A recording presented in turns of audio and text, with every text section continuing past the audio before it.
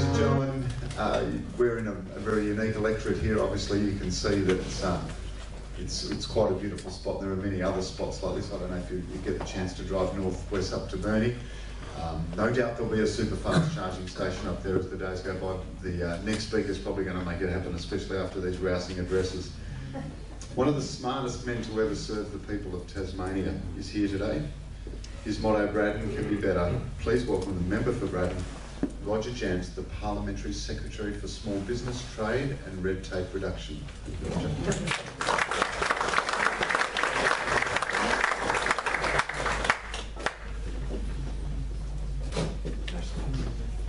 Thank you very much, John, for that um,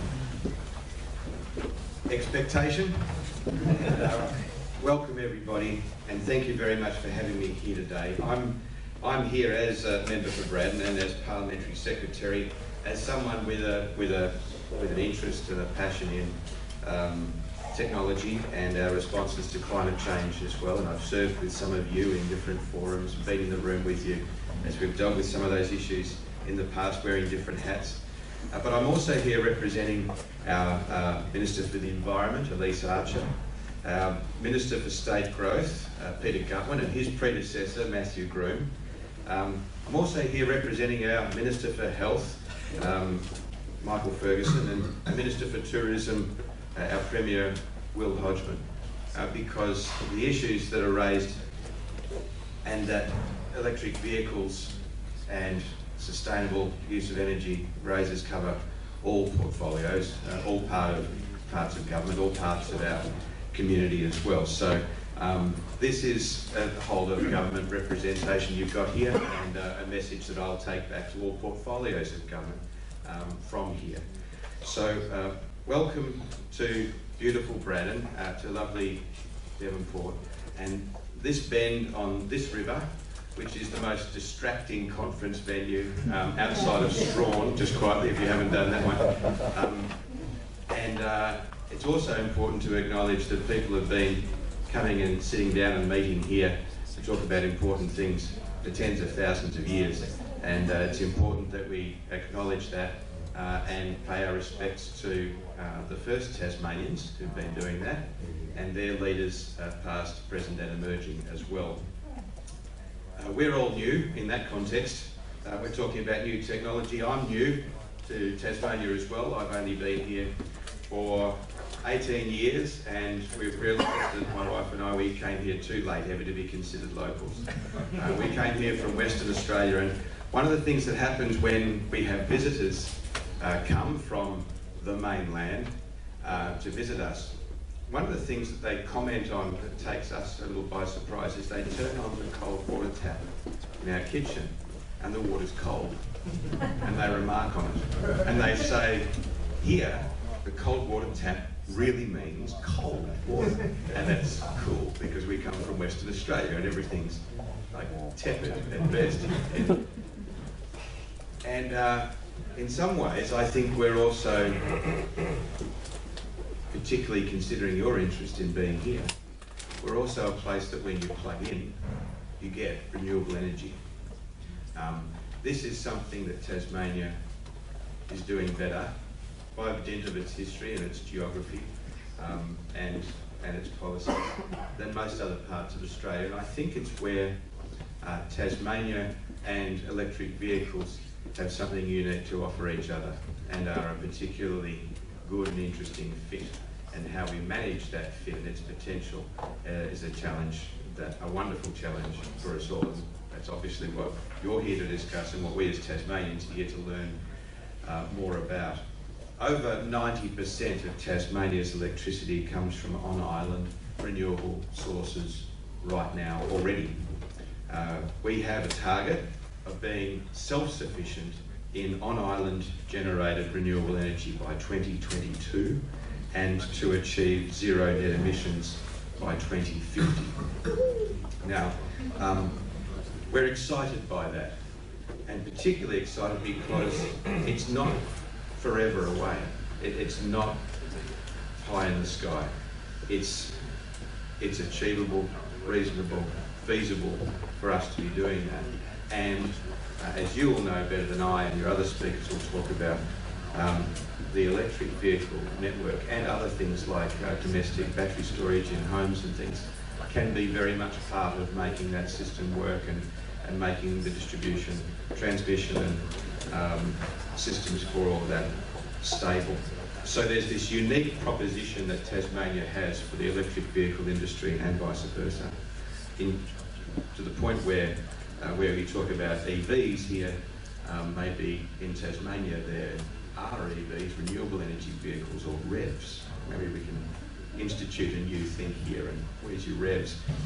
Um, very exciting uh, and, and, a very exciting business opportunity. Also a great, um, I think, reinforcement and match with our brand as a state uh, for um, the complementing the nature-based, clean, green, um, quality brand that uh, we have as a tourism destination for interstate visitors with their EVs, but also those coming from overseas as well to come here and hopefully one day hire an EV and get around in it. Um, so there's no doubting that Tasmania gets uh, and understands uh, electric vehicles and where they fit in our picture of ourselves. But the questions then are, how do we go about making it all happen? Uh, how do we go about making it all happen in the Tasmanian context, uh, in the Tasmanian demography, in the Tasmanian uh, politics and economy as well, uh, as a government, help sponsor this event uh, and a range of other actions that have been outlined in our Climate Action 21 strategy. So, what are we going to do as government? What are we doing already and committed to that'll help to bring this picture into reality? Uh, first, and obviously, we've set those targets regarding uh, further renewable energy capacity uh, on island here and self-sufficiency and uh, zero emissions. We are working now on enhanced production from our existing hydro facilities right across the state. Uh, we are investing and supporting other investors in the development of, of new major wind farms uh, on the island and projects currently uh, in development worth over $600 million there. You would have heard uh, that we're in discussion with the Prime Minister and the federal government regarding the prospects of pumped hydro and Tasmania being uh, battery of the nation. Those, those conversations include the discussions around second Bass Strait interconnectors so that we're able to uh, trade more reliably uh, Tasmania's surplus renewable energy into the national grid and assist the rest of the nation with its aims to, um, to have greater renewable energy as well. So these are some of the things that are already underway in terms of that renewable energy capacity and the idea that when you turn the tap here, the energy that comes out is always renewable.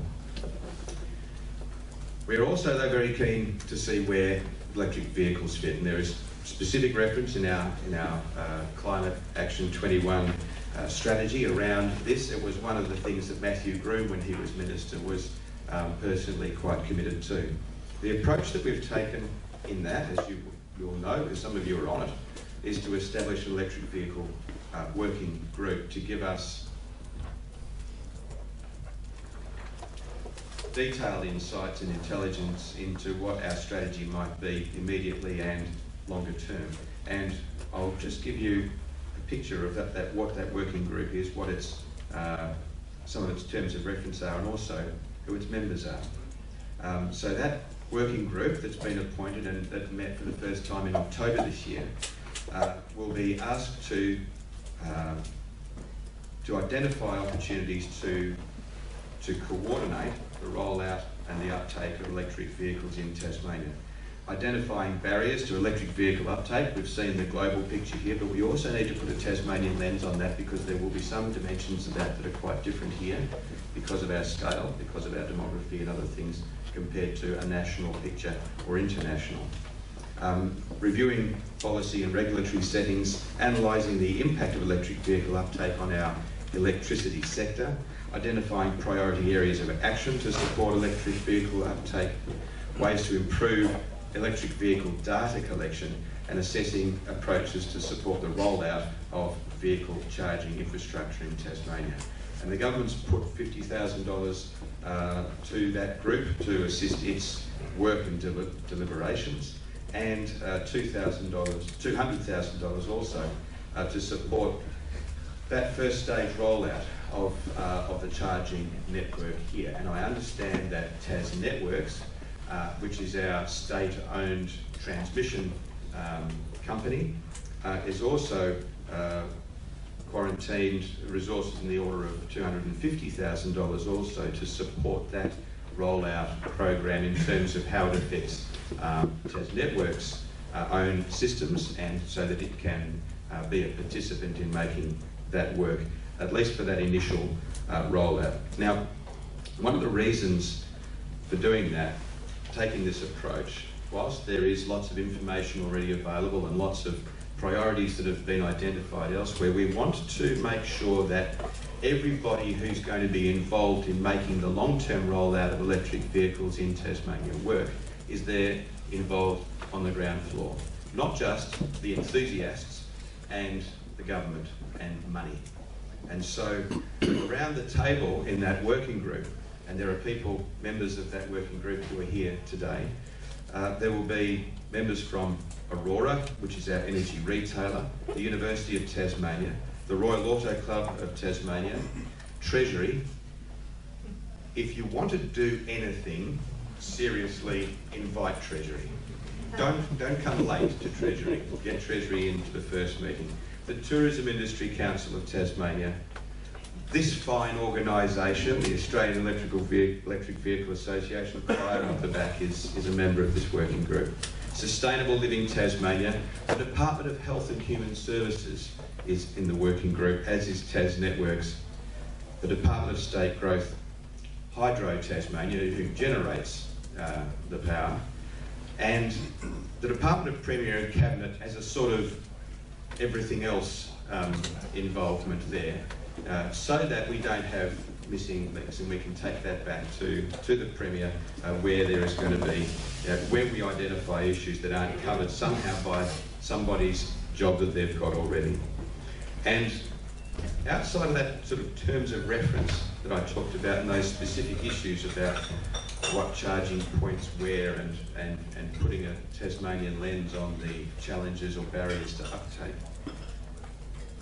I think one of the things that's very important for that group to work on is how do we how do we see the potential of electric vehicles in Tasmania be realised involving people who don't have to get it. We all here, us, the nerds, get it. We're, we're excited by the technology and the ethos and the possibility of this thing that we're interested in and our ability through what we do and buy and through our behaviour to make the world a better place. But there's 500,000 people out there. A lot of them have never bought a new car in their life and never going. Uh, whose priorities for their daily living and their expenses and all the rest are driven by things other than their fascination with the possibilities of this technology. And politically, and probably this has changed since some of the previous discussion, I'm realising we've got to bring those people with us somehow. Yes, on one hand, by helping them understand the possibility and the benefits of all this, but on the other hand, by understanding what it is they need to get aboard and it might not be anything to do with the technology or what comes out of the exhaust pipe, but by how it solves other problems for them. And so I think that quite apart from where the green pins are on the map and who pays for them, and I see that Western Australia and other places who have got the Royal Auto Clubs and the, the Teslas and, and all sorts of other people are involved in making sure that charge points exist.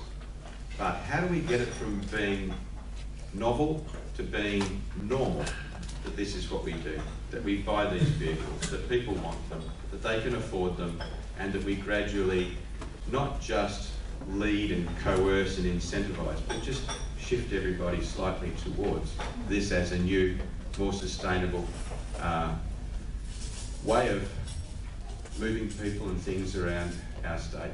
And maybe in that regard, Tasmania, with its small population, its huge resources, uh, and all of you clever people coming here to have conferences like this, we can actually be a place that gets that uh, most right more early than many other places uh, around the world. So the message I want to give you is that Tasmania's government gets this.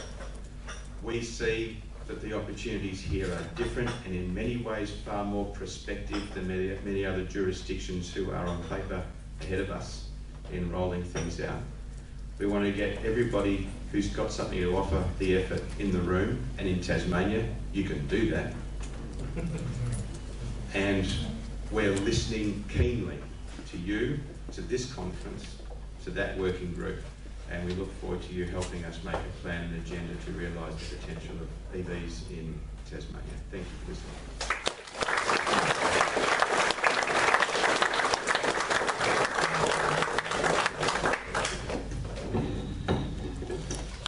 Thank you, Roger.